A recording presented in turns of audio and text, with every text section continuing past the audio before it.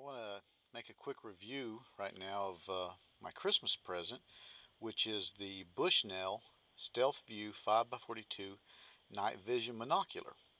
Uh, it's a digital night vision monocular and it was advertised both on opticsplanet.com, Amazon, some other places as being uh, equal to Gen 2 Plus.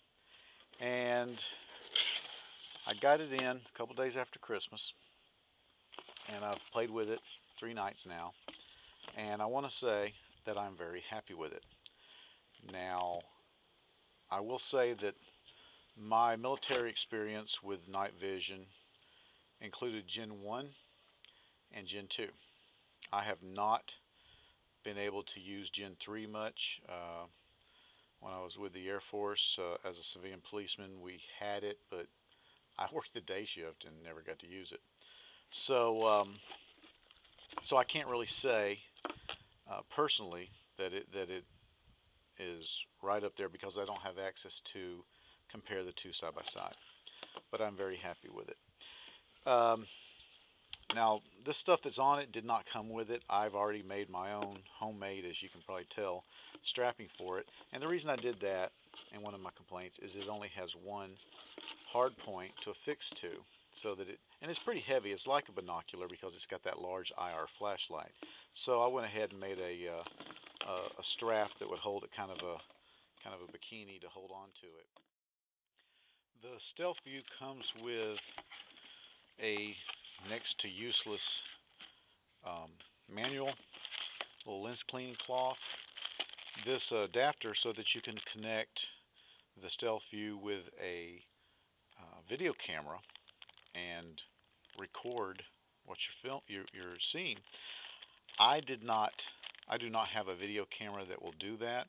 So what I've had to do is actually stick my video camera into the the uh, iViewer of the Stealth View and film it that way. And I've done that so that, that you can see what I'm seeing, or a pretty good uh, facsimile of. It also comes with this really crappy case which I am already in the process of uh, replacing. I hope to find uh, some sort of hard case that'll fit it. If not that, I'll uh, get a tactical case and pad it somehow. Let's go ahead now and look at some footage I shot last night and then compare it to uh, the same scene in the daytime and let you see what I see. What you're looking at is one of those round cement outdoor tables with benches.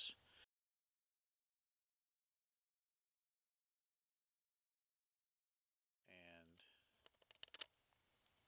going up above the table is a, an umbrella that is fold uh, is closed and behind the umbrella you see the trees and the night sky.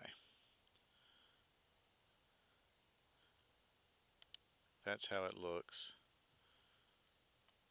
through the Bushnell Stealth View Digital Night Vision Monocular. Now, this is how it looks without. Um, can't see anything. Now, with my naked eye, I can see the difference between the sky and the ground and the tree line. I don't register that on the camera here, but I can see that. But I cannot make out the um, the the patio furniture, the cement patio furniture, and I'm only I don't know 30 feet from it. This is standing at pretty much the same place as I was uh, last night, looking through the nods. Um, of course, there's magnification with them, so it would look a little more close up through the nods, but uh, this is where I was standing. I'm really impressed with the IR spotlight. Um, it's pretty powerful. I was thinking that I had an IR flashlight. Um, I have that uh, military flashlight with the IR setting. Turns out the IR setting is nothing but a uh, locator strobe and doesn't have any flashlight capability. So this is the flashlight I have. You don't use it unless you need to because it really sucks the battery. But um, when you do use it, it throws a beam. And I was pretty impressed with it. Some quick details. It does take AA batteries. Um, that was important to me. It'll also take um, a 12 volt DC connector. They don't come with it. Um, I need to get to Radio Shack or somewhere and find me one. Uh, just a good thing to have, I think. And that's pretty much all there is to it. Uh, it's pretty simple. It focuses really well. You do have to focus, uh, you know, quite a bit. It's, it's just how it is. Um, like I said, very happy with it. But I want to say that I am very happy. I got it off Amazon from Bushnell. Um, even though it's Bushnell, which isn't, it's not top quality anymore. Uh, most of their stuff is foreign, I think. This is Russian made. Um, I'm pretty happy. It was $337 after shipping and everything, taxes, whatever. So for $337 to get, you know, Gen 2 level digital night vision, um, that's pretty good, I think.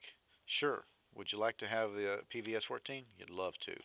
But since this is less than one-tenth the cost, I would say this is a way to go for a lot of us who can't be sinking uh, $3,700 into our night vision. Well, there you go. There's my review. Thumbs up. Thanks.